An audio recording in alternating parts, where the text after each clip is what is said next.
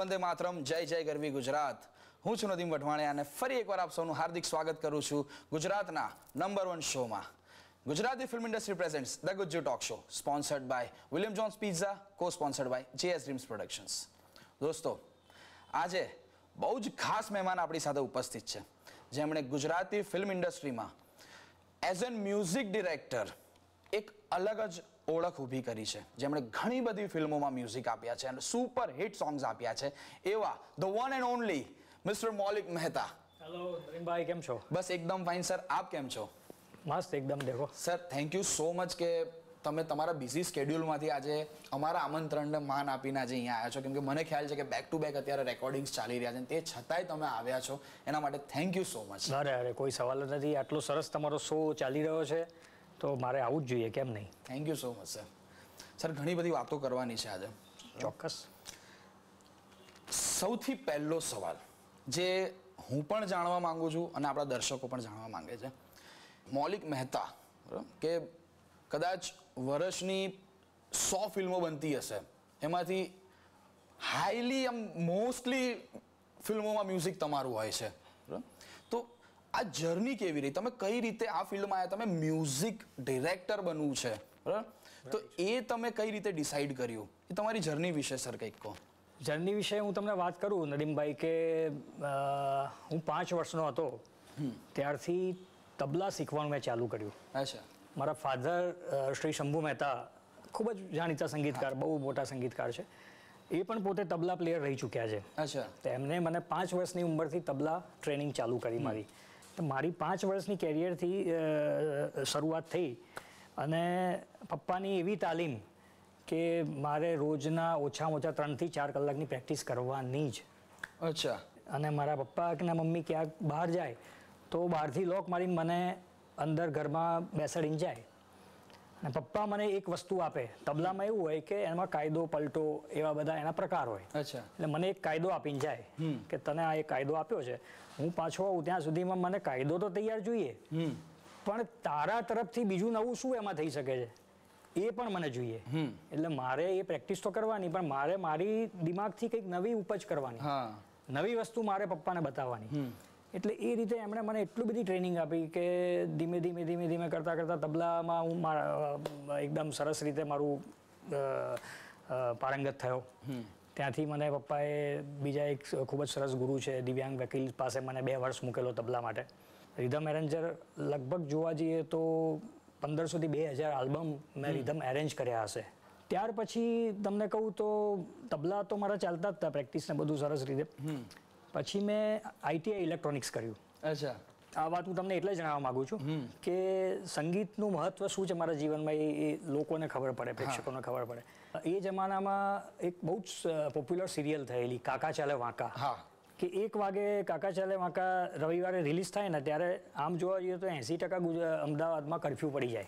હા બધા જોવા બધા જોવા બેસી જાય. કારણ કે ત્યારે આટલી બધી ચેનલ્સ નહોતી. માત્ર એક દૂરદર્શન દૂરદર્શન, હા. મારા ફાધરનું એમાં સંગીત ટાઇટલ સોંગ પપ્પાએ રેકોર્ડ કરેલું. અને એ સિરિયલનું શૂટ મારા ઘરે જ થતું હતું. અને સિરિયલના ડિરેક્ટર મારા ગુરુ શ્રી અરજીત ઠક્કર અત્યારે તો યુકેમાં છે. એમની પાસેથી મેં કેમેરાની વીડિયો એડિટિંગ અને એઝ અ આસિસ્ટન્ટ ડિરેક્ટર હું એમાં કામ કરતો હતો.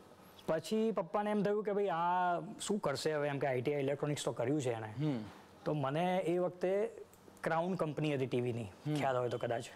એ જમાનાની બહુ મોટી કંપની. એનું ગાંધીનગરમાં એ લોકોનું ત્યાં ફેક્ટરી હતી. તો મને ત્યાં જોબમાં મૂકી દીધો. સાતસો રૂપિયાનો પગાર મહિનામાં. પણ અંદર અંદરથી મને એમ થયા કરે કે યાર હું આ ક્યાં આવી ગયો છું યાર? કારણ કે આ મારું કામ નથી. નથી હા. મારું તો આના માટે સર્જન નથી થયું. મારું સર્જન સંગીત માટે થયું છે. સંગીત જ મારું જીવન છે. એટલે મેં નોકરી છોડી દીધી. મેં ડિસાઇડ કર્યું કે હવે હું માત્ર ને માત્ર મ્યુઝિકમાં જ ધ્યાન આપીશ. મણિરાજ બારોટની એક ફિલ્મ આવેલી પહેલું એનું ફિલ્મ ધોલો મારા મલકનો. હા. પંકજ ભટ્ટ સાહેબનું સંગીત હા. ગજબ સંગીત એમનું. એ ફિલ્મની રિધમ એરેન્જ મેં કરેલી. અચ્છા. અને રિધમ એરેન્જ કરતાં કરતાં કરતાં પછી એક એવો સરસ ચાન્સ મળ્યો. મારું મ્યુઝિક ડિરેક્ટરની જે કેરિયર ચાલુ થઈ. હા. ટીરેક્સ કરીને એક આપણા ગુજરાતની બહુ મોટી કંપની. એ એક જમાનામાં એનું જબરજસ્ત નામ કે ગુજરાતી ફિલ્મના રાઇટ્સ એ લે. ઓકે. એટલે ઘણી બધી એવી ફિલ્મો કે જે ટીરેક્સમાંથી જ એ લોકોનો ઓડિયો બહાર આવતો હોય. અને ટીરેક્સના માલિક રાજભાઈ સિંધી પોતે. પણ જગજબ દિમાગવાળા માણસ. એમણે મને ત્યાં બોલાયો. એમનો સ્ટુડિયો હતો. અને નદીમભાઈ સ્ટુડિયોના જે સોફ્ટવેર આવે છે ને એમાં જેમ કે પ્રોટૂલ્સ છે ન્યુઅન્ડિયો છે ક્યુબેસ છે. આખા ઇન્ડિયામાં ચાર જ સ્ટુડિયોમાં પ્રોટૂલ્સ હતા. અચ્છા. એમાંનો એક આપણો ગુજરાતનો સ્ટુડિયો. હવે મેં એમને કીધું મેં કીધું યાર રાજભાઈ મને તો કોમ્પ્યુટર થોડું થોડું આવડે છે. બાકી કોઈ એવું નોલેજ નથી. મને કે ચિંતા ના કર તને શીખવાડી દઈશ. એમણે મને પ્રોટૂલ્સ શીખવાડ્યું. પછી ત્યારે એક જનકાર બીટ્સ કરીને એક સિસ્ટમ ચાલતી હતી કે જૂના જૂના ગીત હોય એને લઈને જનકાર બીટ્સ કરવાની. તો ધીમે ધીમે મેં જનકાર બીટ્સ ચાલુ કરી. એમના બધા આલ્બમ્સમાં હું જનકાર બીટ્સ એ બધું કરતાં કરતાં એકલો જ સ્ટુડિયો હું હેન્ડલ કરતો હતો. નાઇન્ટીન નાઇન્ટી ફાઇવમાં ઓગણીસો પંચાણુંમાં બમ બમ ભોલે કરીને એક આલ્બમ આવેલું જેનું મ્યુઝિક મેં સર્વપ્રથમ કર્યું. અને એના ગાયક શ્રી પ્રફુલ્લ દવે. અને સુપર હિટ આલ્બમ એ જમાનું. ત્યાર પછી તો અમે લોકોએ ઘણા બધા આલ્બમ કર્યા. એટલે રાજભાઈને હું એટલા માટે યાદ કરું છું કે મારો સર્વપ્રથમ સંગીતકાર તરીકે હાથ પકડનાર શ્રી રાજભાઈ હતા. અને મરદ માણસ. બે હજાર બેમાં મારી પાસે પહેલી ફિલ્મ આવી. એમાં એ પહેલી ફિલ્મનું ટાઇટલ છે ભૂકંપ. એ જે વખતે ભૂકંપ આવેલો અને એ લોકોએ પ્રોડ્યુસરે કંઈક ભૂકંપ ઉપર ફિલ્મ બનાવી હશે. ભૂકંપથી મેં ફિલ્મની શરૂઆત કરી. ત્યાર પછી મારા કેરિયરનો જે ટર્નિંગ પોઈન્ટ આવ્યો એ ફિલ્મ કેશવ બાપાની ડિરેક્શન. મનુભાઈ આપણા એમાં કેમેરામેન પણ હતા. ચંદન સર્વપ્રથમ હીરો અને એનું સંગીત મેં કર્યું. અચ્છા. મગન મામા એના પ્રોડ્યુસર અને એ ફિલ્મ નદીમભાઈ એટલી સુપર હિટ રહી. કે એ જમાનામાં એવું કહેવાય છે કે રાત્રે બારથી ત્રણના શો ઓપન થયેલા. હા. કે લોકોના જે થિયેટર વેચવા કાઢેલા એ થિયેટર એ લોકોએ પાછા રિનોવેટ કરીને શરૂ કર્યા. એક બેન મને મળ્યા કે હું હોસ્પિટલમાં કર્મચારી તરીકે કામ કરું છું. ફિલ્મમાં હું જોવા જાઉં છું ને ગીતો જોવા જઉં છું ખાલી. ગીતો આવે ત્યારે હું જઉં ને ગીતો આવે એટલે બહાર નીકળી જાઉં. એમ કરીને મને કે મેં પંચાવનથી સાહીઠ વાર ફિલ્મો જોઈ છે. અને ત્યારે જે આપણને સંતોષ થાય કે ક્યાં બાત હે. એમ કે આપણે આજે આટલું સરસ સંગીત આપ્યું લોકો સુધી પહોંચ્યું અને લોકોએ વખાણ્યું. એટલે ત્યાર પછી મારો ટર્નિંગ પોઈન્ટ આવ્યો અને ત્યારથી ઘણી બધી ફિલ્મો કરી. ઘણા બધા એવોર્ડ્સ પણ મળ્યા છે. અને ભગવાનની દયાથી આજે ખૂબ સરસ કામ કરી રહ્યા છીએ. અને એ ફિલ્મનું મ્યુઝિક આજે પણ લોકો સાંભળે છે. સો ટકા સાંભળે છે આજે આજે પણ સાંભળે સુપર હિટ ફિલ્મ હતી. ચંદનભાઈની ફર્સ્ટ ફિલ્મ ધુડકી તારી માયા લાગી. સો? આજે પણ એટલું જ ગમે છે એ મ્યુઝિક સાંભળવું. સવાલ જ નથી આજે પણ લોકો સાંભળે જ છે અને રેગ્યુલર લોકો એને વગાડતા હોય છે પોતાના ઘરમાં. સર તમે ઘણા સિંગર્સ જોડે કામ કર્યું છે. ઘણા સિંગર્સ. બરોબર? પણ એવો કોઈ એક સિંગર કે જેને એમ કહેવાય ને કે તમને સાંભળવો ગમે છે અને તમને એમની જોડે કામ કરવું ગમે છે. એવું કોઈ ફેવરેટ સિંગર ઘણા બધા સિંગર્સને ગવડાવ્યું છે આપણા ગુજરાતના લઈ લો કે બોલિવૂડના સિંગર્સને લઈ લો. કુમાર શાનુ શાન, સોનુ નિગમ, મોહિત ચૌહાણ, રૂપકુમાર રાઠોડ, સાધના સરગમ અલકા યાજ્ઞિક એટલે ઘણા બધા મહાલક્ષ્મી અય્યર. પણ મને પર્સનલી ગમતા સિંગરોમાં સાધનાજી છે. સાધનાજીને મારી ઘણી બધી ફિલ્મોમાં ગાયું છે અને સાધનાજી એટલા માટે છે કે મારી બોલિવૂડ સિંગર્સ જે સર્વપ્રથમ મારે ફિલ્મો ગાઈ એમાં સાધનાજી હતા. અને સાધનાજીને હું મુંબઈ જ્યારે સોંગ ગવડાવવા ગયો ત્યારે જ્યારે એમણે આવીને મારું સોંગ પહેલાં તો મારી સાથે પાસેથી જાણ્યું શીખ્યા. પછી અંદર જ્યારે પહેલો ટેક કરવા અંદર ગયા ત્યારે એમણે જે ફર્સ્ટ લાઈન ગાઈ ને નદીમભાઈ આજે મને અત્યારે રૂવાડા ઊભા થઈ જાય છે. કે આમ એટલું બધું મારા આંખમાંથી આંસુ આવી ગયા એટલું અદ્ભુત એમણે ગાયેલું એ સોંગ એટલે આજની તારીખમાં મને યાદ છે એમ. પછી બીજા સિંગર્સને જોવા જઈએ તો રૂપકુમાર રાઠોડજી મારા મનગમતા સિંગર સોનુ નિગમ. એટલે બધા સિંગરો આમ તો આપણા અંદર સમાયેલા જ છે મનગમતા જ છે પણ આમ પર્સનલી જોવા જઈએ તો મને એ લોકો સાથે આમ મજા આવે કામ કરવાની. અને એક પ્રાઉડ મુમેન્ટ બી છે જેમ તમે સાધનાજીનું કીધું કે આપણે સાંભળતા સાંભળતા મોટા થયા છે અને પછી એ જ્યારે તમે એમને મ્યુઝિક આપી રહ્યા છો એટલે એક ફીલ જ આખી અલગ આવતી હોય ફીલ બહુ અલગ આવે. આજે ધારો કે સોનુ નિગમને આપણે આટલા બધા ફિલ્મોમાં સાંભળ્યા હોય અને જ્યારે તમે સોનુ નિગમને તમે ગવડાવવા જાઓ તમારી સામે સોનુ નિગમ બેઠા હોય તમારું જ કમ્પોઝિશન સામે માઇક ઉપરથી સોનુ નિગમ ગાતા હોય કુમાર શાનુ કુમાર શાનુની તમને વાત કહું? હા.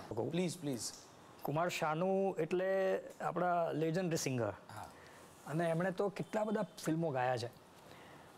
ગુજરાતી ફિલ્મોમાં સર્વપ્રથમ ગીત એમણે મારું ગાયું વાવ મને કે મૌલિકભાઈ થોડા સા મેં પહેલી બાર ગા રહા હું ગુજરાતી તો મને કે તમે ધ્યાન રાખજો મારા પ્રોનાઉન્સિએશન થોડા ચેક જોજો એ સોંગ ગાતા એમણે ઓછામાં ઓછા ત્રણ કલાક લગાડ્યા ઓ ત્રણ કલાકમાં મને એમણે વારંવાર મને કે મૌલિકભાઈ આપ देखना थोड़ा आप चेक कर लेना मुझे कोई एम के जल्दी नहीं है आप चेक करके ही जाना ટેક પતાવીને અંદર આવ્યા ભેટી પડ્યા મને. મને કે યાર મૌલિકભાઈ ક્યાં ગાના બનાવ્યા આપને? મને કે આ રેકોર્ડિંગ તમે ક્યાં કર્યું? મેં કીધું શાનુદા રેકોર્ડિંગ અમદાવાદમાં જ કર્યું છે. મને કે ક્યાં કર રહ્યો હો અમદાવાદ में યાર? મુંબઈ આ જાઓ. મેં કીધું તમારી લાગણીને ખૂબ જ માન છે. તમે આટલું મારા માટે મને આટલું સરસ વાત કરી. મારા માટે આટલી લાગણી તમને થઈ.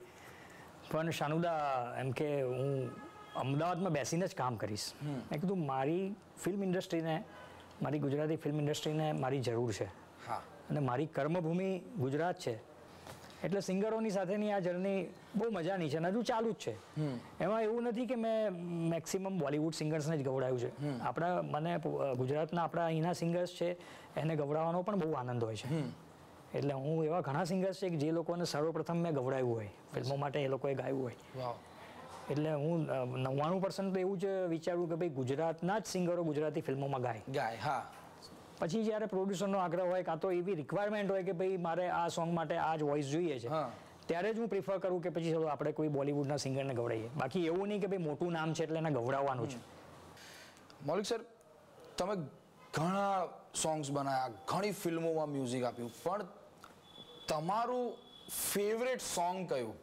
જે તમે બનાવ્યું હોય ને તમારું ફેવરેટ હોય કે આજે પણ તમે અગર બહુ જ સ્ટ્રેસ્ડ છો કામ વર્કલોડ લઈને પણ તમને ખબર છે કે એ સોંગ હું સાંભળીશ ને તો મને મજા આવી જશે હું રિલેક્સ એવું કોઈ સોંગ જે તમે બનાવ્યું હોય? વાહ. ઘણા બધા સોંગ બનાવ્યા છે. એટલે એવું તો હું ના કહું કે ભાઈ આ સોંગ આવું હતું આવું હતું.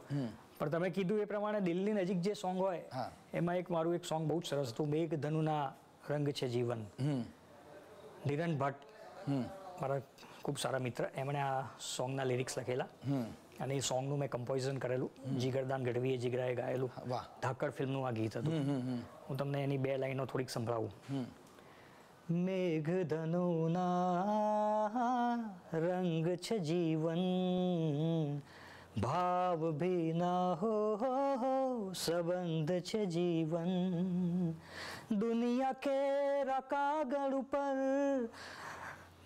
દુનિયા કે કાગળ ઉપર સપનાનો નિબંધ છે જીવન. જાણી લેજો રે, જીવન માણી લેજો રે, જીવી લેજો રે, જીવન જીવી લેજો રે. મેઘધનુના રંગ છે જીવન. વાવ બ્યુટીફુલ મને ગમતું કમ્પોઝિશન મને મને તમારું એક સોંગ મને બી બહુ ગમે છે. મેં એક ફિલ્મ કરી હતી વિશ્વાસઘાત. હા બિપિન બાપોદરા સર એમાં ડિરેક્ટર હતા અને એમાં જે ઐશ્વર્યા મજમુદારે જે સોંગ ગાયું વાહ છે. વાહ વાહ વાહ અને બહુ જ બ્યુટીફુલ સોંગ હતું. રઈસ મણિયાના શબ્દો બહુ સરસ વાત બહુ જ અને આજે પણ સાંભળો તો મજા મજા પડી જાય બહુ બહુ એ બહુ અદ્ભુત સોંગ થયેલું. સવાલ જ નથી. સર પહેલા સીડીનો જમાનો હતો કેસેટ્સ પછી પેન ડ્રાઈવ આવી ગઈ. બરાબર? અત્યારે બધું ડિજિટલ થઈ ગયું છે. બરાબર? તો સીડીના મ્યુઝિકમાં અને અત્યારના ડિજિટલ જે અત્યારે ચાલી રહ્યું છે બધું તો કેટલો ડિફરન્સ આવી ગયો છે એ મ્યુઝિકમાં અને અત્યારના મ્યુઝિકમાં મ્યુઝિક એ જ છે. પણ રેકોર્ડિંગની કદાચ પદ્ધતિઓ બધી ચેન્જ થઈ હોય. ઘણી બધી પદ્ધતિઓ ચેન્જ થઈ છે. રેકોર્ડિંગ્સમાં તો અત્યારે તમે સમજો ને બે બે ત્રણ ત્રણ ચાર મહિને વર્ષે વર્ષે ટેકનોલોજી ચેન્જ થતી જાય છે. એટલે એક જમાનામાં કેસેટ ચાલતી હતી. પછી કેસેટ પતીને પછી સીડીનો જમાનો આવ્યો.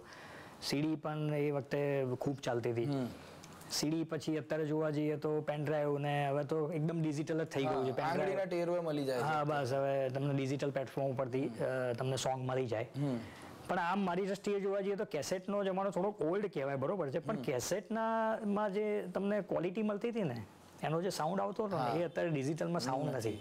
એ વખતે એવું હતું કે એ આઠ ટ્રેકનું સ્પૂલ હોય. એ આઠ ટ્રેકના સ્પૂલમાં જ તમારે બધું રેકોર્ડિંગ કરવાનું. એક સાથે બધું રેકોર્ડિંગ થાય. ફિલ્મનું સોંગ હોય કે આલ્બમનું સોંગ હોય એક સાથે રેકોર્ડિંગ થાય. અને એક જ સાથે પહેલેથી બધું વાગે. જો કોઈની બી ભૂલ પડે તો ફરીથી તમારે આખું સોંગ રેકોર્ડ કરવું પડે. અત્યારે ટેકનોલોજી આટલી આગળ નીકળી ગઈ છે એટલે શું છે કે હવે એ નથી રહ્યું. હવે શું થાય છે કે પહેલા પાયલોટિંગ થાય. પાયલોટિંગ થયા પછી એની ઉપર અમે લોકો રિધમ કરીએ. રિધમ થયા પછી બધા મ્યુઝિકલ ઇન્સ્ટ્રુમેન્ટ ડબ થાય.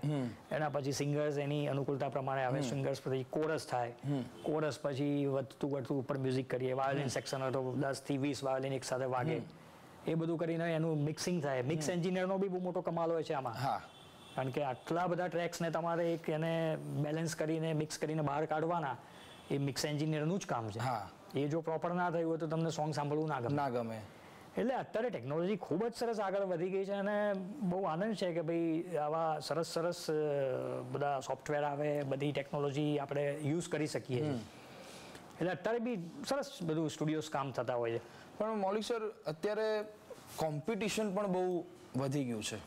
કેમ કે જનરલી અત્યારે કેવું થાય છે કે કોઈક અગર કોઈ સ્ટુડિયોમાં ચાર મહિના જોબ કરી રહ્યું છે બરાબર? તો હજી નોલેજ નથી શીખ્યા નથી તે છતાંય સ્ટુડિયો ખોલી દે છે. ક્યાંક ને ક્યાંક એવું થઈ રહ્યું છે અત્યારે. અને એના હિસાબે ગુજરાતી મ્યુઝિક ઇન્ડસ્ટ્રીને બહુ પેલું ડેમેજ થઈ રહ્યું છે. બરાબર? તો તમે શું કહેવા માંગો છો આજના યુથને? જે મ્યુઝિક ડિરેક્ટર છે કે પહેલાં નોલેજ લો શીખો. કેમ કે આજે અમને આજે ખબર પડી કે મૌલિક મહેતા કેટલી સ્ટ્રગલ કરીને આજે એક બ્રાન્ડ બની છે. તો તમે શું આજના યુથને કહેવા માંગો છો? હું આજના યુથને એ જ કહેવા માંગીશ કે મહેનત તો કરવી જ પડે. મહેનત વગર ક્યારેય એવી સફળતા ના મળે અને જે સફળતા કદાચ મળી હોય ને તો એ બહુ ટૂંકા ગાળાની સફળતા. શોર્ટ ટાઈમ માટે છે. તમારે જો એવું કહેવાય કે લાંબી રેસના ઘોડા બનવું હોય તો તમારે મહેનત કરીને જ નીકળવું જોઈએ અને શીખવું જ જોઈએ. મારી દ્રષ્ટિએ તો શીખવું જોઈએ. અત્યારે શું થયું છે કે લોકોના હાથમાં મોબાઈલ આવી ગયા છે. એટલે એમ કે ભાઈ ગૂગલ ઉપર કંઈ બી સર્ચ કે શું છે શું છે. આ યુટ્યુબ પર શીખી લીધું. એ યુટ્યુબનું જ્ઞાન તમને આગળ જઈને કામ નહીં જ લાગે. આવે. તમારે પ્રોપર શીખવું પડે. આજે ધારો કે હું પ્રોપર શીખીને બહાર નીકળ્યો છું. ત્યારે આટલું લાંબા સમય સુધી હજુ હું કામ કરી રહ્યો છું. હા. જો મેં એમને એમ બધું અધરકચરું આ નહોત તો હું એકસો પાંત્રીસ ફિલ્મો સુધી ના પહોંચ્યો હોત.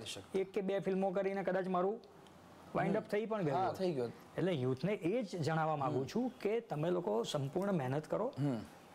તમે ભલે કદાચ બિઝી રહેતા હો તો એટલીસ્ટ એક કે બે કલાક મ્યુઝિકને આપો. પ્રેક્ટિસ કરો.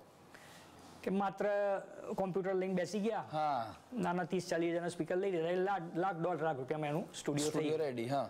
એ લોકો નથી એના એકોસ્ટિક પાછળ ખર્ચો કરતા નથી સારા માઇક્રોફોન્સ હોતા હું ખૂબ જ દુઃખ સાથે એ કહેવા માગું છું કે અત્યારે આપણી ગુજરાતી ફિલ્મ ઇન્ડસ્ટ્રી પણ જોવા જઈએ તો અને મ્યુઝિક ઇન્ડસ્ટ્રી પણ. એવા સ્તરે આવીને ઊભી છે કે સાવ રદ્દી પ્રકારનું મ્યુઝિક ચાલે છે. કોઈને ક્રિટિસાઇઝ નથી કરતો. કારણ કે મારો એ સ્વભાવ જ નથી. પણ મને અંગત રીતે દુઃખ એટલા માટે થાય કે અમે લોકો એટલી બધી મહેનત કરીને એટલું બધું સારું સારું કામ કરીને આ લેવલે સંગીતને પહોંચાડેલું. આજે તમે યુટ્યુબ ખોલશો તો તમે દસ સોંગ સાંભળશો તો દસે દસ તમને એક જ જેવા લાગશે. મારી પાસે કેટલા ફિલ્મોના ટ્રેક પડ્યા હશે? ઘણા પ્રોડ્યુસર મને આવીને એમ કે તમે એક કામ કરો ને અમારે લાઈવ નથી કરવું. તમે તમારી પાસે ટ્રેક પડ્યા એમાંથી કરી લો ને. હું એમને કહું કે સાહેબ હું એ કામ નથી કરતો. હા. હંમેશા મારું મ્યુઝિક ફ્રેશ જ કરું છું. હું મારા ટીમને મારા મ્યુઝિશિયનને વગાડવા બોલાવું જ છું. નવેસરથી જ મ્યુઝિક કરું છું. હું દારૂ તો બધું કરી શકું એમ છું પણ મારે એવું નથી કરવું. કારણ કે હું એવું કરીશ તો મારી ટીમના મેમ્બર્સને આ જે આટલા બધા વર્ષોથી મહેનત કરીને જે આર્ટિસ્ટો છે એનું કામ બંધ થઈ જશે ને? હા. જે અત્યારે થયું છે. એક્ઝેક્ટલી એક બહુ મોટા આર્ટિસ્ટે મને મુંબઈથી સ્પેશિયલ ફોન કરેલો. બહુ મોટા પ્લેયર છે જે ગુજરાતમાં પણ વગાડવા આવતા હતા. મને કે યાર મુલિકભાઈ એ ક્યાં ચલ રહા હે તુમારે ગુજરાતમાં? મેં કીધું કેમ શું થયું દાદા? અરે મને કે યાર યુટ્યુબ તમે ચલાવો કે કંઈ પણ જુઓ એક જ પ્રકારનું મ્યુઝિક મને કે ક્યાં? માત્ર એમ કે તમારું ગુજરાતી સંગીત ખાલી એક જ ઠેકા ઉપર ચાલે છે? એક ઠેકો એટલે અત્યારે જે ચાલે છે ને ધીન તા તીક ધીન તા તીક. મને કે આ જ છે. મેં કીધું નહીં દાદા એવું નથી. ગુજરાતમાં તો ઘણા બધા ઠેકા પ્રચલિત છે. ઘણી બધી રિધમ પ્રચલિત છે પણ ખબર નહીં અત્યારે આ લોકો એક જ રિધમ ઉપર લઈ મંડ્યા છે. કે ભાઈ ચલાય કરો ચલાય કરો ચલાય કરો. પણ એવું ના હોવું જોઈએ. અત્યારના જે ના સંગીતકારો છે આલ્બમમાં કામ કરે છે કે ફિલ્મમાં કામ કરે છે એ લોકોએ ફિલ્મો હોય તો ફિલ્મની સિચ્યુએશન પ્રમાણે સમજીને કામ કરવું જોઈએ. આલ્બમ્સ જે છોકરાઓ કરે છે જે સંગીતકારો છે એને તો મારી એક નમ્ર વિનંતી છે કે તમે લોકો ભાઈ સરસ આર્ટિસ્ટોને બોલાવો એ લોકોની પાસે વગડાવો નવું નવું સંગીત કરો એકનું એક ના ચલાવો જેનાથી આટલી બધી ઇન્ડસ્ટ્રીને નુકસાન થયું છે. લોકો હવે વિમુખ થઈ રહ્યા છે આપણા ગુજરાતી મ્યુઝિકથી. પણ જ્યારે આપણે એમને કહીએ બી છે ને કે યાર આ એકનું એક આજે તમારું કોઈ જુનિયર છે તો તમે એને હકથી કહી શકો છો સો ટકા. કે બેટા આ થોડુંક કરો ને. તો એમના જવાબ બી એ જ આવે છે કે અત્યારે આ જ ચાલે છે. એટલે બહુ ખોટું છે. આ ચાલે છે છે. એવું ના હોય ને યાર. તમે કંઈક નવું કરો. એક્સપેરિમેન્ટ ધારો કે હું તમને વાત કરું કે હું જ્યારે મ્યુઝિક ઇન્ડસ્ટ્રીમાં ફિલ્મ ઇન્ડસ્ટ્રીમાં કામ કરવાનું ચાલુ કર્યું ત્યારે બે લેજન્ડરી સંગીતકારો કામ કરતા હતા. મહેશ નરેશજી અને ગૌરાંગ વ્યાસજી પંકજ ભટ્ટ આ બધા એટલા બધા મોટા મોટા સંગીતકારો કામ કરતા હતા. એમાં મેં એન્ટ્રી કરીને મેં મારું પોતાની કંઈક નવી સ્ટાઇલ રજૂ કરી. તો આજે લોકોને મારું સંગીત આવે તો લોકોને ખબર પડી જ જાય કે ભાઈ આ મૌલિક મહેતાનું મ્યુઝિક. હશે. મેં મારી સ્ટાઇલ ડેવલપ કરી. હવે એ જ ઘરેડમાં હું બી ચાલ્યો હોત તો પછી નવું ક્યાંથી મળે લોકોને? મળતું. એટલે મારું તો એ જ કહેવું છે કે હંમેશા નવું કરવું જ જોઈએ. અને મોટામાં મોટો એક સવાલ છે કે એકોસ્ટિક ઇન્સ્ટ્રુમેન્ટનો યુઝ કરો. તમે કહી શકતા હો કે એકોસ્ટિક અને પ્રોગ્રામિંગમાં શું ડિફરન્સ છે? ક્યાં બાત હે? ચોક્કસ આપણે જણાવીએ કેમ કે જનરલી કદાચ એ લોકોને ખબર નહીં ના હોય. અમુક લોકોને ખ્યાલ હોય પણ અમુક જે જનરલ પબ્લિક છે એમને ખબર ના હોય. તો પ્લીઝ જો એ પણ આપણે પ્રોગ્રામિંગમાં શું ફરક છે? એકોસ્ટિક એટલે કે જે એકોસ્ટિક ઇન્સ્ટ્રુમેન્ટ એટલે શું છે કે જેમ કે તબલા છે ઢોલક છે dhol drums guitar flute shehnai violin mandolin આ બધા એકોસ્ટિક ઇન્સ્ટ્રુમેન્ટ થયા. કીબોર્ડ કીબોર્ડમાં આ જ બધા સાઉન્ડ તમને મળી રહે. મળી રહે. અત્યારે તો બધા એવા સોફ્ટવેર પણ આવ્યા છે કે જેમાં તમને રિધમના લૂપ્સ પણ મળે. પણ જ્યારે એકચ્યુઅલ આર્ટિસ્ટ આવીને જ્યારે તમારું મ્યુઝિકનું કમ્પોઝિશન કે તમારા મ્યુઝિકના પીસ વગાડે છે એની જે ફીલ આવે છે એનો જે સાઉન્ડ આવે છે એ આ સાઉન્ડ તમને તમારી પ્રોગ્રામિંગમાં ના મળે. નહીં મળે. એટલે પ્રોગ્રામિંગ એટલે શું છે કે આપણી પાસે એક સોફ્ટવેર છે આપણી પાસે અમુક બધા વીએસટીના ના સાઉન્ડ છે. એ સાઉન્ડમાંથી મ્યુઝિક તમે કમ્પોઝ કરીને મ્યુઝિક બનાવીને તમે એક ગીત તૈયાર કરો એ પ્રોગ્રામિંગ થયું. કે જેને અલગ અલગ લેટ્સમાં એક પહેલાં રિધમ કરી પછી કોર્ડ્સ કર્યા પછી કંઈક ગિટારના સાઉન્ડ નાખ્યા. તમારી પાસે સોફ્ટવેરમાં ફ્લૂટ પડી છે તો ફ્લૂટ વગાડી નાખી. તમારી પાસે એવા સોફ્ટવેર બી છે કે તમને એમાં દસ કે પંદર વાયોલિન્સ વાગતા હોય એ વાયોલિન્સનો સાઉન્ડ બી તમને અંદરથી મળી રહે. મળી રહે. પણ એની ફીલ ના મળે. એટલે એ બધું પ્રોગ્રામિંગમાં થતું હોય છે. એ પ્રોગ્રામિંગ અને એકોસ્ટિક એટલે જ્યારે તમે એકચ્યુઅલ ઇન્સ્ટ્રુમેન્ટને બોલાવીને તમે વગડાવો એ એકોસ્ટિક ઇન્સ્ટ્રુમેન્ટ થયું કે જે એકોસ્ટિકની તમને ફીલ આપે.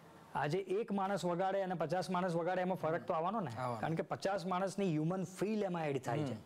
પોતાની અંદર લાગણીઓ એડ થાય છે. આજે ધારો કે હું તબલા વગાડતો હોઉં કે ફ્લ્યુટ વગાડતો હોય તો એ ફ્લ્યુટ વાળાનું જે અંદરનું એનું એક્સપ્રેશન છે એ બધા એડ થાય છે. હા. એની ફીલને કારણે તમને એ સોંગ કેમ. ગમે છે? આજની તારીખમાં એ સોંગ કેમ અમર છે? એટલે મારું તો એ જ કહેવું છે કે તમારે જો તમારા સોંગ અમર કરવા હોય તો એકોસ્ટિકનો યુઝ કરો. પ્લીઝ પ્લીઝ એકોસ્ટિકનો યુઝ કરો. પર્સનલી તમારા ફેવરેટ કે જેને જેનાથી તમે ઇન્સ્પાયર્ડ થયા છો? એવું કોઈ? પર્સનલી તો હું તમને કહું ને તો લક્ષ્મીકાંત પ્યારાલાલજી આર ડી બર્મંદા એ લોકોને બહુ મેં સાંભળ્યા છે. કારણ કે હું પોતે જો રિધમિસ્ટ છું એટલે લક્ષ્મીકાંત પ્યારેલાલના સોંગ્સ એવા હોય કે જેમાં તમને ભરપૂર રિધમ જોવા મળે. એમનું કોઈ પણ સોંગ હોય એટલે ઓછામાં ઓછી ચાલીસથી પચાસ તો રિધમ વાગી જ હોય. રામલખણમાં તો એમને રામલખનનું જે સોંગ આવેલું એમાં તો એવું કહેવાય છે કે દોઢસો થી બસો રિધમિસ્ટ એમણે ભેગા કરેલા. ઓહો. એ જમાનામાં એટલે લક્ષ્મી પ્યારેજીનું સંગીત મને હૃદયથી પ્રિય છે. આ ડી બર્મંદાના કમ્પોઝિશન મને બહુ ગમે છે. એટલે એ લોકોને મેં સાંભળ્યા છે. એ લોકોને ફોલો પણ કરું છું. વાવ સર ઘણા પ્રોજેક્ટ્સ અત્યારે લાઇન્ડ અપ હશે. બરાબર? તો હું ચાહીશ કે તમારા નેક્સ્ટ પ્રોજેક્ટ કયા છે એ તમે અમને જણાવો દર્શકોને જણાવો કે હવે કઈ ફિલ્મમાં અમને તમારા સોંગ સાંભળવા મળવાના છે? અમને લગભગ છેલ્લે તો ચાર પાંચ ફિલ્મો કરી મેં. એમાં એક હમણાં બારમી તારીખે જ આ બાર ઓગસ્ટ રિલીઝ થવાની છે. કોણ પારકા કોણ પોતાના. વિક્રમ ઠાકોરવાલી. એનું ફિલ્મનું મ્યુઝિક મારું છે. અને એ ફિલ્મમાં હમણાં જ મેં બે દિવસ પહેલાં જ કીર્તિદાનભાઈને ટાઇટલ સોંગ ગવડાવ્યું. અદ્ભુત ટાઇટલ સોંગ છે. ખૂબ મજા આવશે કીર્તિદાનભાઈને પણ બહુ જ ગમ્યું. અને એટલું બધું એમને ગાવાની પોતાને મજા આવી. બીજો એક પ્રોજેક્ટ અત્યારે ઓન ફ્લોર છે ખેડૂત એક રક્ષક. હા. એ પણ વિક્રમ ઠાકોર જીતુ પંડ્યાના ડિરેક્ટર છે એનું સોંગનું કામ અત્યારે ચાલી રહ્યું છે. અચ્છા. અને બીજી ફિલ્મોમાં લગભગ એક અનુરાધા કરીને ફિલ્મ આવશે. કેશવ બાપાની છે. વાહ. એ સબ્જેક્ટ પણ બહુ જ સરસ છે એનું પણ કામ ચાલી રહ્યું છે. અચ્છા. અને બીજી બે ત્રણ ફિલ્મોના બેકગ્રાઉન્ડ પણ ચાલી રહ્યા છે. ઓકે. એટલે અપકમિંગ પ્રોજેક્ટમાં ઘણા બધા પ્રોજેક્ટ ચાલી રહ્યા છે. તમે કોણ પારકા કોણ પોતાનાની વાત કરી? હોય તો કદાચ વિક્રમભાઈની ફિલ્મો એટલે જનરલી વિક્રમભાઈ જ એમાં ગાતા હોય છે? કેમ કે બહુ જ જબરદસ્ત સિંગર છે વિક્રમભાઈ પણ. કીર્તિદાન ભાઈએ એમાં ટાઇટલ ટ્રેક ગાયું છે એટલે ગુજરાતી ઓડિયન્સને એક કહેવાય ને કે કોમ્બો મળવાનો છે. કે વિક્રમભાઈ છે અને જોડે કીર્તિદાનભાઈનો અવાજ મળશે એટલે મજા પડી અરે બહુ મજા આવશે. ને ખરેખર સોંગ એટલું અદ્ભુત બન્યું છે. કીર્તિભાઈએ મને કીધું મને કે યાર આ મારું ગમતું સોંગ બનશે મને કે. ઇવન લોકોને પણ ખૂબ ગમશે. કારણ કે વિક્રમભાઈ તો પોતે સિંગર છે તો એમના સોંગ ગાતા જ હોય છે. પણ આ સોંગમાં એવું હતું સિચ્યુએશનમાં કે ટાઇટલ સોંગ જે છે એ ફિલ્મના બેકગ્રાઉન્ડમાં ઘણી બધી જગ્યાએ વાગવાનું છે. લિપસિંક વગર.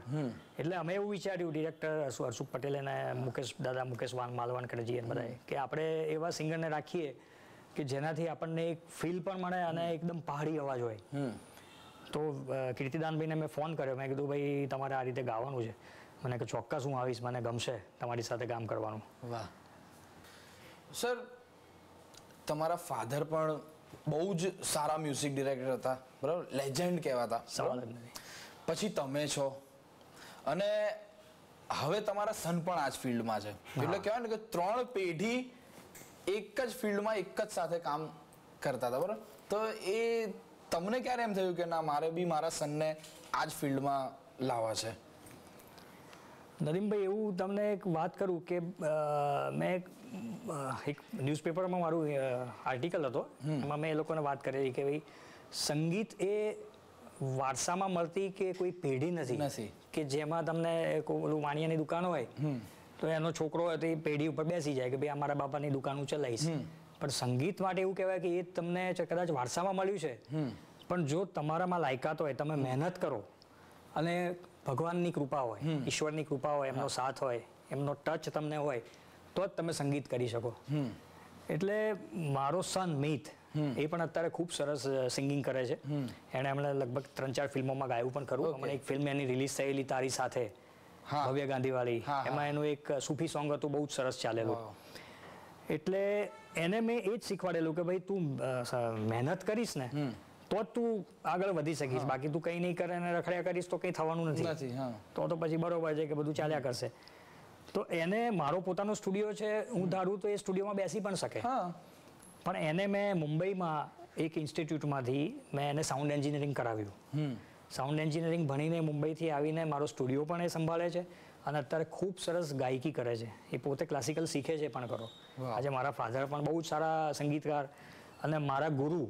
તમે જે પ્રશ્ન કરેલો કે તમારા મનગમતા મ્યુઝિક ડિરેક્ટર એમાં મારા મનગમતા મ્યુઝિક ડિરેક્ટરમાં મારા ફાધર શ્રી શંભુ મહેતાજી પણ ખરા. કે જેમની પાસેથી હું ઘણું બધું શીખ્યો. અને જેમનો હું ફર્સ્ટ લિસનર એ જ્યારે મ્યુઝિક કરતા હોય મ્યુઝિક બનાવતા હોય કમ્પોઝિશન કરતા હોય ત્યારે એમનો પહેલો લિસનર હું હોઉં. કારણ કે એ વખતે હું ઢોલક લઈને બેઠો હોઉં. મારા ફાધરને એવી આદત કે એમને ઢોલક લઈને મારે એમની સામે બેઠા હોય તો એમને મજા આવે. હવે નવરાત્રી આવી રહી છે. તો શું પ્લાનિંગ્સ છે? તમારા ક્યાં તમે નવરાત્રી કરવાના છો આ વખતે? ક્યાં વાત હે ક્યાં વાત હે.